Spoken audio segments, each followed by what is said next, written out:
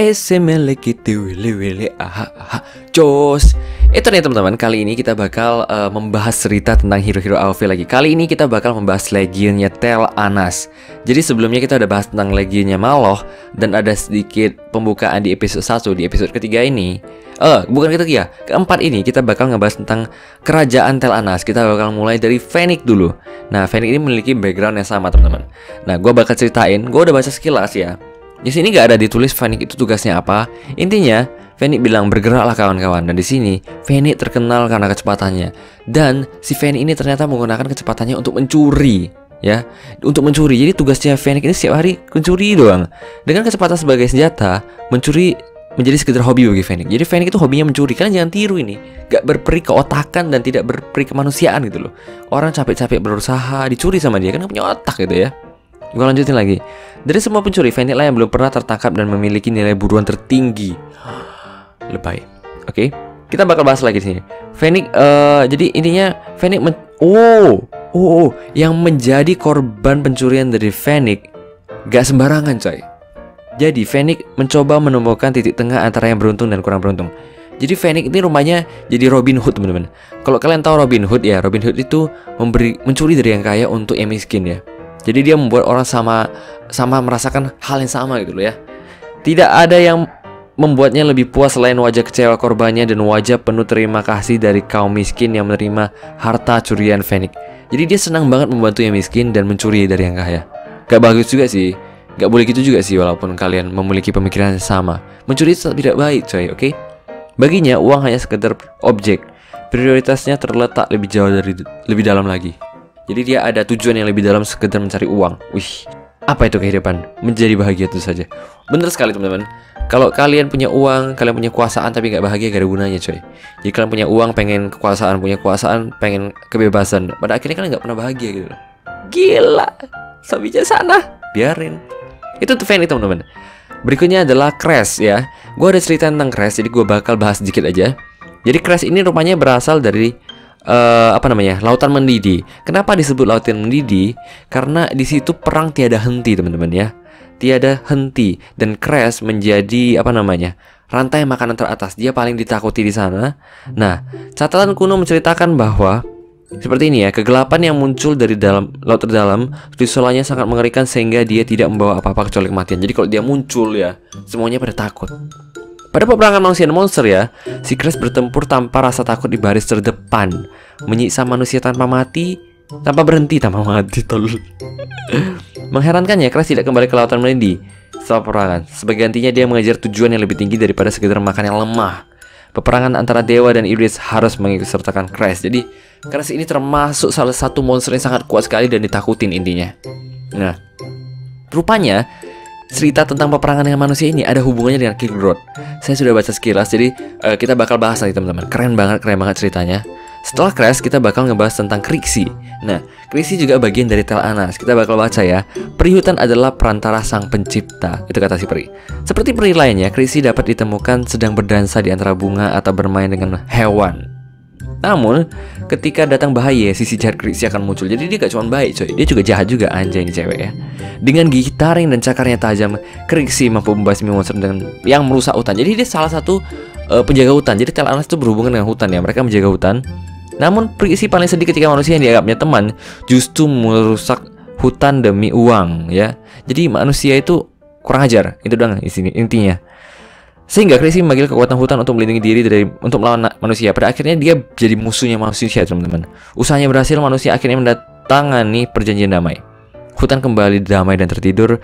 Namun Krisi mengetahui bahwa manusia jahat ya, yang jahat ya, tidak bakal bertobat lah, ya.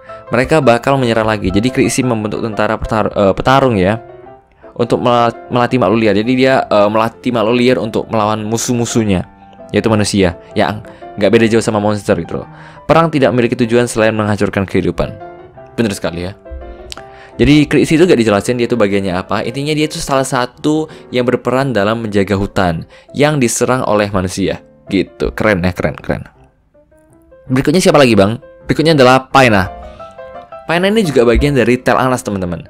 Nah, ceritanya ini cukup keren. Kenapa? Ini ada hubungannya dengan Aleister dan dengan Lauriel. Kita belum jelas uh, dengar tentang Lauriel ya. Kalau Aleister kita udah dengar dia itu uh, berkhianat dari apa Temple of Light ya. Dia jadi bagian dari Malo. Nah, di sini ada dijelasin sedikit tentang si Aleister. Lihat, denger ya. Pertama kali Paina melihat sayap Lauriel ya. Lauriel itu dikejar Aleister. Nah, Aleister mengkhianati Bright Temple atau Temple of Light bahasa uh, dan menginginkan Fountain of Light itu bagian dari uh, Bright Temple ya mungkin ya yang berada di kekuasaan Lauriel. Jadi apa namanya? Uh, Illumia itu ada bawahannya. Lauriel itu kayaknya bawahan yang menguasain uh, Fountain of Light teman-teman. Gila keren-keren. Karena itulah bahan utama untuk percobaan sihirnya. Jadi uh, si apa namanya Aleister mau merebut kekuasaan dari Lauriel. Lauriel. Lauriel hampir kalah menghadapi serangan The Fallen dan menderita luka parah sehingga tak ada pilihan lain selain melarikan diri ke Dark Forest. Dark Forest ini dia ketemu Paina sang penjaga hutan yang memberinya bantuan teman-teman. Jadi Paina menolong Lauriel di sini. Tetapi Paina tidak mampu membantu kekuatan Aleister juga. Untuk menjaga usaha Aleister, Lauriel menyerahkan Fountain of Light pada Paina. Jadi Paina yang jagain Fountain of Light untuk menggantikan si uh, Lauriel ya Alexis tidak memberikan rasa kasihan sedikit pun kepada mereka dan menghujani mereka. Jadi si Paina tetap diserang walaupun dia yang jagain ya. Aku akan meminum ini untuk menggagalkan rencananya, kata Paina. Paina yang sudah lemah menggunakan seluruh kekuatannya untuk meminum Fountain of Light. Jadi dia minum yang dia jaga, Fountain of Light. Dan energi cahaya yang terkandung di dalamnya menyebar ke seluruh tubuhnya. Bahkan ledakan kekuatan itu mengalir keluar dan memulihkan L'Oreal dalam sekejap. Oh my god. Jadi ketika dia minum Fountain of Light, Paina langsung bisa punya kemampuan ngeheal. Dia jadi support, teman-teman. Itu alasannya dia jadi support ya. Dan si L'Oreal langsung membaik ya. Dengan bantuan Paina, L'Oreal memulihkan diri dan berhasil mengalahkan Aleister. Jadi pada akhirnya Aleister dikalahkan oleh L'Oreal. Kemampuan The Power of Woman, man. Bersayap. Gak bisa tembus. Usai semua itu, L'Oreal mengundang Paina untuk bergabung dengan Temple of Light. Tapi Paina menolaknya. Aku sudah bersumpah untuk melindungi Dark Forest namun, sahabat dari Bright Temple akan selalu disambut dengan hangat di sini. Nah, itu artinya pada akhirnya mereka menangkan dan uh, L'Oreal kembali lagi uh, menjadi bagian dari da uh, Bright Temple. Dia kembali ya dari Dark Forest dan Paina tetap stay di Dark Forest. Jadi kesimpulannya si L'Oreal itu dibantu oleh Paina dan berhutang budi pada Paina. Keren, keren, keren. Keren banget, keren banget ceritanya. Jadi itu alasannya kenapa Paina bisa ngehil karena dia minum itu tuh. Minum air kencingnya L'Oreal gitu loh. Berikutnya siapa lagi bang? Berikutnya adalah Zuka. Zuka ini ceritanya juga cukup keren teman-teman. Jadi ceritanya prajurit uh, ini omongan si Zuka ya. Prajurit sejati melindungi yang lemah dan menghukum yang jahat. Betul sekali. Menghukum yang jahat ya. Zuka lahir di desa yang uh, indah dan damai. Ya intinya dia dari kecil ya Zuka ya mempelajari segala jenis bela diri ya.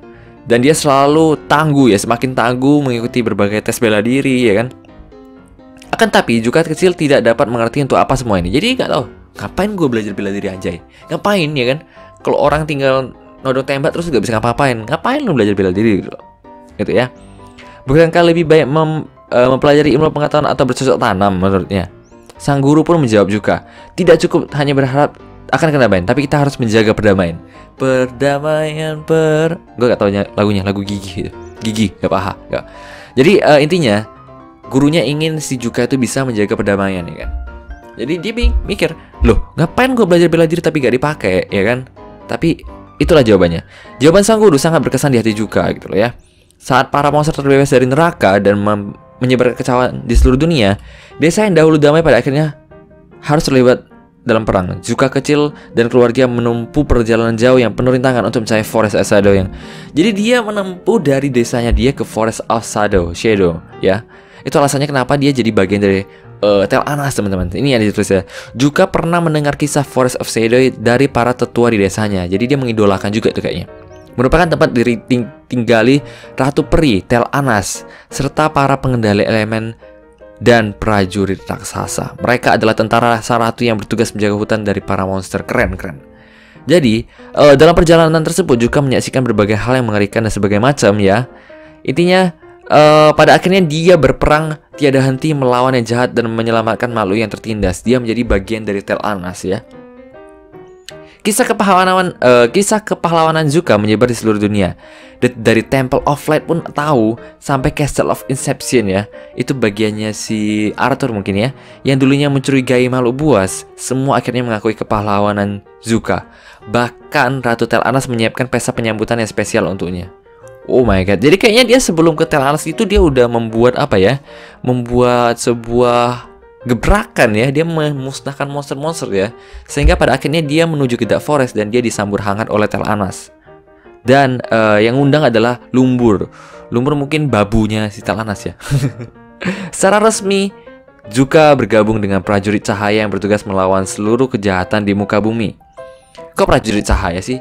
Mungkin prajuritnya Tel Anas kali ya Di mana pun Zuka berada, ia menjadi simbol perdamaian sejati. Jadi Zuka itu suka perdamaian. Gila, keren banget. Yuka ini pahlawan ternyata ya. Berikutnya siapa lagi bang? Berikutnya adalah Slim teman-teman.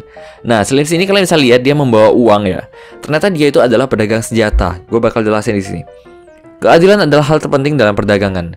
Jadi selama masa peperangan, kerjanya Slim itu cuma jualan senjata, ya. Slim itu beroperasi di daratan antara kastil kelahiran dan hutan bayangan. Kastil kelahiran itu adalah ini mungkin dia translate-nya kacau banget. Lo pakai Google Translator kali ya. Kastil kelahiran tuh kastilnya si Moren, teman-teman. Kastilnya si Moren ya. Seperti pedagang lainnya, dia sangat memiliki ada prinsip uh, keadilan ya, teman-teman ya. Jadi uh, dia gak mau membuat bis rekan bisnisnya kering, teman-teman. Oke. Okay? Oh, salah salah kebalik. Tolol banget gua. Ketika kesempatan tercapai, Slim mendemonstrasikan keadilan ini dengan membuat rekan bisnisnya kering. Aja. Kurang ajar Slim ini ternyata. Gua kira dia baik orangnya anjay. Jadi di bawah penyamaran sebagai pedagang sukses, Slim akhirnya dapat menguasai seluruh transaksi di perbatasan. Jadi intinya waktu perang itu ya dia kerjanya jual senjata doang, dia jadi kaya gitu lah ya. Nah karena dia penjual senjata itu harus netral. Netral ya, lu jual ke sini, lu jual ke sini harganya sama gitu loh. Yang penting lu untung. Nah bisnisnya melejit ya. Untuk melindungi hartanya dari eh, harta dan bisnisnya, Slim berencana untuk membangun pasukan sendiri yang terdiri dari binatang buas, manusia, dan boneka alkemi. Boneka alkemi itu bagiannya Omega, teman-teman. Ingat ya. Sayangnya, Preta ini nih kasihan banget sih Slim nih. Preta, komandan tertinggi dari The Fallen, tangan kanan salah satu tangan kanannya si Maloh itu ya, merupakan orang yang pertama mengincar hartanya, ya. Jadi Preta itu kan bawahannya si uh, Preta kan punya si apa namanya? Sleeve eh scoot scoot teman-teman. Jadi Preta itu kan minta si Megangga bikinin scoot. Ya Preta pakai si scoot. Gue udah bacain ceritanya scoot ya. Dia pakai si scoot untuk nyerang si Omega bener kan teman-teman? Nah di sini Slim rupanya menyimpan hartanya di rumahnya Omega dan Moren teman-teman. Gila keren banget. Jadi uh, pada akhirnya si Slim ini nggak bisa menyelamatkan kastil alchemy dan Omega juga bisa. Hartanya pun hilang. Begitu saja. Dicuri teman-teman Keinginan untuk memperoleh kembali harta dan status membuat Slim kembali ke hutan bayangan atau The Dark Forest. Pada akhirnya dia kembali lagi ke hutan bayangan teman-teman. Dia bekerja sama dengan Tel Anas ya, bersepakat ya bahwa Tel Anas akan merebut kembali alchemy, tetapi si Slim harus jagangin hutan. Bayangan, gila keren. Dan kalimat akhirnya adalah hutangmu harus dibayar suatu saat nanti. Jadi intinya Slim itu kerjanya cuman jualan senjata, Terus tiba-tiba tempat dia menyimpan hartanya diserang yaitu tempatnya si Moren dan tempatnya si Omega. Nah, mau gak mau dia harus minta kembali itu. Dia minta tolong sama Tel Anas. Tel Anas pergi untuk mengambil kastilnya kembali, sedangkan si Slim stay di hutannya Tel Anas untuk menggantikan Tel Anas menjaga hutan bayangan. Keren banget. Jadi kalian bisa tahu ternyata Slim itu uh, netral ya, dia gak punya bagian. Pada akhirnya dia bekerja sama dengan Tel Anas. Kemudian berikutnya adalah lumbur teman-teman. Lumbur juga bagian dari tel anas ya. Abu ke abu, debu ke debu. Ya, bu ke debu, bu ke debu, bu. Ini kayaknya beatboxer ya sampah masyarakat nih ya. Tanpa elemen bumi, dunia ini tidak akan menjadi apa pun. Oke. Sebagai perwujudan dari keinginan Mother Earth ya, lumbur diberikan kemampuan untuk merasakan dan menyelesaikan ketidakcocokan. Secara diam-diam dia telah melindungi dari seluruh makhluknya selama berapa Jadi lumbur itu penjaga bumi ternyata. Lumbur berperilaku sesuai dengan hukum alam. Yang kuatlah yang akan bertahan, benar sekali. Dengan hukum tersebut, sebagai kode moral, lumbur tidak pernah mencampuri perang antara manusia dan monster. Ini adalah itu adalah cara alam. Ini maksudnya gini maksudnya ya. Jadi lumbur itu kayak penjaga alam teman-teman. Jadi dia gak pernah mau uh, apa namanya mau ikut campur gitu loh kayak kita manusia kalau kita ke Afrika ya cita makan rusa kita gak tolongin rusanya karena itu udah hukum alam teman-teman Gitu ya intinya. Si lumbur juga melakukan hal sama pada bumi atau dunianya dia ini. Keren banget, keren banget si lumbur. Berikutnya adalah uh, Tel Anas teman-teman. Ini yang kita tunggu-tunggu. Karena Tel Anas ini adalah penguasanya. Dan gue belum baca secara detail ya. Item lagi. Kisahnya seperti apa teman-teman? Setelah mengucap selamat tinggal pada kampung halamannya yang asri tempat dirinya tertidur selama seribu tahun Tel Anas sang ratu elf yang baru terjaga bersinar layaknya bintang pagi sebagai salah satu kesatria pemberani menentang sekerangan awal pasukan kegelapan, Tel Anas yang melegenda berkat keahlian panahnya tak tertanggi menjadi ilham dari serang ah, agak penting lah itu ya. Dikenal atas peran besarnya yang mem, uh, pertarungan final yang menentukan melawan pasukan kegelapan. Jadi intinya Tel Anas ini berperan penting banget dalam melakukan uh, pasukannya si Maloh gitu loh ya. Tel Anas lah yang menembakkan satu-satunya panah yang menimbulkan luka parah di raga The Lord of Darkness. Siapakah The Lord of Darkness? Kemungkinan si Maloh, teman-teman. Jadi dia yang menembakkan ke Maloh. Hmm. Dan memastikan keberlangsungan hidup semua makhluk hidup yang kehilangan perlindungan pada dewa diberi. Oh. Jadi dialah yang menyelamatkan seluruh makhluk hidup dari uh, si The Lord of Darkness itu. Gila keren-keren. Namun, Tel Anas harus membayar mahal saat jiwa dan raganya terdandai kekuatan kegelapan yang dilepaskan Lord of Darkness di nafas terakhirnya. Oh my god. Dia dipasang untuk mengasihkan diri. Oh, itu alasannya kenapa dia berada di sana. Oh my god, ini ceritanya ada twist lagi teman-teman. Jadi dia mau gak mau dia uh, mengasihkan diri dan tertidur. Oh, dia sebelum bangkit itu dia tertidur ya akibat lawan The Lord of Darkness. Semasa tidurnya Maloh penurut The Lord of Darkness. Jadi kesimpulannya The Lord of Darkness kita gak tahu siapa ya. Belum ada clue berusaha untuk menghancurkan segel perlindungan sang ratu dan merebut kekuasaan kegelapan yang ada di dalam diri Tel Anas. Namun ternyata segelnya jauh lebih kuat dari perkiraan. Maloh mau membuat Tel Anas jadi babunya, tapi gagal. Keren-keren. Merasakan adanya peluang uh, yang muncul di balik serangan kedua pasukan kegelapan, Maloh menurunkan perintah pembantaian Avata yang memaksa Tel Anas untuk melepas segel dan kembali ke medan peperangan. Oh my god. Raganya sama sekali tak menandakan bahwa dirinya telah melewati tidur seribu tahun lamanya dan daya tempur di peperangan akar Akbar menjadi bukti bahwa dirinya mampu menaklukkan serta menggunakan kekuatan kegelapan yang mengalir dalam tubuhnya. Oh my god, keren. Jadi Tel Anas itu dalam dirinya itu mengalir kekuatan kegelapan dan dia bisa mengendalikannya gitu loh.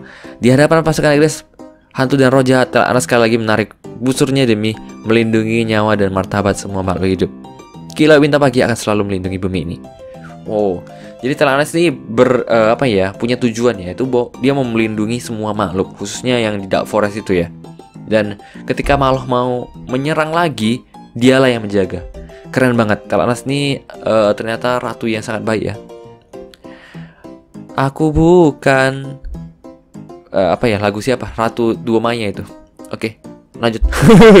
Gak penting banget anjay.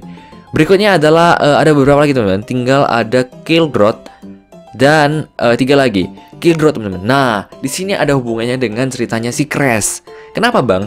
Ternyata Kildrot ini, gua bacain ya, pernah diserang oleh Tara. Lautan semerah darah menjadi semakin keruh dan mendidih penuh amarah. Kildrot adalah penguasa lautan, di mana amarah adalah jalan satu-satunya untuk bertahan hidup. Oke, okay. Satu-satu hal yang dipedulikannya adalah menanamkan amarah pembunuh kepada semua makhluk laut. Jadi dia pengen semua makhluk laut itu jadi pembunuh, ya. Pembantaian tanpa henti merupakan sumber kekuatan amarah bagi Killgrot. Jadi dia itu juga gak jelas ya, dia itu jahat atau baik, dia suka membantai ya. Deras segar yang tersebar di lautan membangun kepulan predator laut in, lalu mengisi kekosongan di rantai makanan. Kekuatan amarahnya luar biasa ini sangat memabukkan bagi para iblis. Jadi iblis itu suka. Tara ya, dia salah satu komandan The Fallen, bagian dari The Maloh ya. Mengayunkan gada besinya seperti angin topan, ia menggunakan kekuatan es untuk membaukan permukaan laut. Ini kenapa skill satunya Tara ada esnya. Jadi dia membakukan laut ya, sehingga Kildrot pun merasakan efeknya. Jadi Kildrot tuh secara sengaja tuh diserang oleh Tara gitu loh. Karena harga dirinya yang tinggi, ia tidak kabur dari pertempuran. Si Kildrot sok-sokan ya, pada akhirnya dia hampir mati ya. Dia sampai nggak bisa ngangkat senjatanya, lihat tuh di tulisannya. Saat pertempuran berdarah, Kildrod yang sekarat kehabisan tenaga bahkan untuk memegang senjatanya. Gila lu bisa bayangin dia tuh lagi perang terus eh, mati gua aja. Gitu ya. Pada akhirnya Crash datang ya memimpin pasukan liarnya untuk menyelamatkan Kildrod. Nah, di situ dijelasin kalau Crash uh, memusnahkan umat manusia di ceritanya Crash. Rupanya itu ada hubungannya dengan Kildrod, teman-teman. Tetapi Kildrod berhasil memulihkan diri dari lukanya dan akhirnya bergabung dengan pasukan Forest of Shadows. Untuk menunjukkan rasa terima kasihnya dan untuk balas dendam. Nah, kalau tri didengar dari kata-katanya, berarti Crash emang bagian dari Forest of Shadow teman-teman. Jadi dia peliharaannya si Telanas. Jadi Telanas kan dibilang dia mampu mengendalikan kekuatan uh, kegelapan gitu loh. Mungkin Crash tuh gelap tapi di, bisa dikendalikan sama Telanas atau monster ya. Telanas juga bisa mengendalikan monster, keren banget. Killgrot yang murka menolak mengikuti perintah siapa pun. Jika The Valen berani menghinanya, amarahnya akan membasmi mereka sekejap. Wah keren. Jadi ini emosian ya. Pantesan dia teriak-teriak mulu kalau main gua. Kesel gua. Oke berikutnya adalah siapa bang? Berikutnya adalah kalau nggak salah Toro teman-teman ya. Toro ini juga bagian dari si Tel Anas ceritanya. Gua bakal ceritain ya. Wukong, kau akan menerima akibat perbuatanmu. Jadi ceritanya lucu ya teman. Jadi Wukong tuh dulu temannya Toro, ya. Terus ternyata gue ceritain sambil baca deh. Ternyata ya, uh, Toro itu memiliki dendam karena gini nih. Toro ada uh, Toro dapat mengulili Wukong hanya dengan kekuatannya dan tanpa menggunakan sihir apa pun. Itu ceritanya. Itu sebelum si Wukong jadi dewa. Lucu ya. Jadi Toro pernah bersahabat dengan Wukong, namun semua berubah sejak negara api menyerang. Gak usah sok lucu anjing. Enggak, enggak. Berubah sejak Wukong ikut dalam perjalanan ke barat ya. Kayak film Wukong, perjalanan ke barat kan, kalian ingat kan? Jika saja Wukong tidak ikut dalam perjalanan itu, anaknya tak akan menjadi murid Guan Yi. Jadi anaknya si Toro jadi muridnya Guan Yi. Dan selirnya juga pasti masih hidup. Berarti selirnya mati. Jadi kalau Wukong nggak pergi, pasti aman gitu loh. Jadi Wukong itu temen. Nah, kami sudah bersumpah sebagai saudara dalam suka maupun duka. Mengapa dia malah membuatku hidup susah? Dia ditinggalin, padahal mereka udah janjian di awal. Toro hampir gila membiarkan kehidupannya tragis ya, karena anaknya hilang, selirnya hilang ya. Toro ingin bicara dengan Wukong, namun Wukong telah menjadi Buddha. Intinya dia udah berada di tingkat lain ya. Dia nggak bisa dihubungin lagi sama Toro. Nah, Toro segera pergi ke sana. Uh, ketika dia tahu kau pergi ke Atanor ya, itu kayak tempat di mana uh, gua nggak tahu di mana ya. Di sini belum ada penjelasan. Toro segera pergi ke sana dengan memberitahu identitasnya. Keren, keren, keren. Oh salah salah. Toro segera pergi ke sana dan memenangkan kepercayaan Avata. Mungkin Avata itu adalah hero baru nih teman-teman. Dengan memberitahu identitasnya, Toro sangat menantikan pertemuan Hugo. Di mana mau nyari ini? Biar aku pecahkan balanya dengan tanganku, gitu kan ya. Jadi Toro itu ceritanya uh, agak sedikit aneh ya. Jadi dia cuma dibilang dia itu kuat banget ya. Tapi dia sial banget intinya. Dia ditinggal sama Wukong dan dia pengen balas dendam sama Wukong. Gak tahu sih, kayaknya dia masih jadi temenan sih sampai sekarang. Itu untuk Toro teman-teman. Dan gak jelasin dia bagiannya apa di Tel Anas ada. Berikutnya adalah Cowner teman-teman ya. Nah, Cowner itu juga bagian dari apa namanya? Uh, kerajaannya Tel Anas ya. Aku adalah perwujudan kekacauan dia bilang gitu ya. Chalner adalah mamut purbakala yang dinodai energi kekacauan yang mengubahnya menjadi sosok menyeramkan yang sekarang dia miliki. Di matanya kehidupan hanyalah pertarungan tiada henti antara kekacauan dan ketertiban. Nyawa, peraturan, logika, perasaan, dan keyakinan tak berarti apa-apa baginya. Gila cuek dia ya. Tapi di sini nggak dijelasin ya, dia itu tugasnya apa ya uh, dia cuma jelasin gini nih. Jika bukan karena sosok manusia berbakat yang memancing Chowner ke dalam perangkap dan menyegelnya ke dalam beksi, dunia bisa aja lenyap sejak lama. Jadi si Chowner ini kayaknya di ini nih ditangkap sama Tel Anas teman-teman. Jadi Chowner ini uh, jahat banget. Dia suka merusuh gitu ya. Nah, ternyata ada satu sosok manusia yang berbakat yang menyegel si Chowner dan gak lain pasti Tel Anas. Kenapa? Tel Anas dikatakan kalau dia bisa mengontrol monster gitu loh. Namun, kekuatan kacauannya tak bisa dimusnahkan sepenuhnya. Yang bisa dilakukan manusia hanyalah bertarung untuk melemahkan Chalnar dan mengenyahkan ancaman yang dimiliki. Oh, pada akhirnya cuman bikin dia lemah doang ya. Namun, semua sadar bahwa suatu hari Chalnar akan terbebas dari berbelenggu pengikatnya dan memporak-pondakan porandakan setiap jengkal daerah dunia ini dengan api kemarahannya. Aku akan membuatmu menjadi saksi atas kecauan yang menelan dunia ini. Gila. Keren, keren. Jadi mungkin suatu saat nanti Chalnar itu bisa jadi bawahnya Tel Anas. Karena dia yang menyegel bisa jadi ini saya cuma berspekulasi teman-teman. Belum tentu itu sebenarnya. Jadi gimana teman-teman? Cerita kali ini.